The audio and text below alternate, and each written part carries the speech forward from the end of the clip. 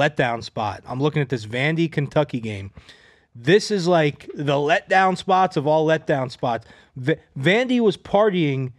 They See didn't. see the goalpost going yeah, up? they didn't go got back. it out. They went in They- the river. In the river, they finally got it out. What a stab in the Crazy. back to Alabama, huh? down down Broadway in Nashville. That had to be a party and a half. Nashville's party central already as it is with all the tourism and stuff. Yeah. But this is the letdown spot of all letdown spots here. Um, Vandy is just they were partying until Monday or Tuesday. Forget about Saturday night. They went Sunday. They went Monday. I think they were still. I think they skipped. They might prac- be there today. They still might be partying today. So um, listen, Kentucky had that huge win against Ole Miss. Kentucky had a very hard fought game against Georgia. They're the real deal, Kentucky. They're a solid team. Um, that you that that adrenaline, that emotion, it's a draining thing. I think Kentucky comes in. I'm taking Kentucky. I'm buying it to 13 and a half, rolling with Kentucky.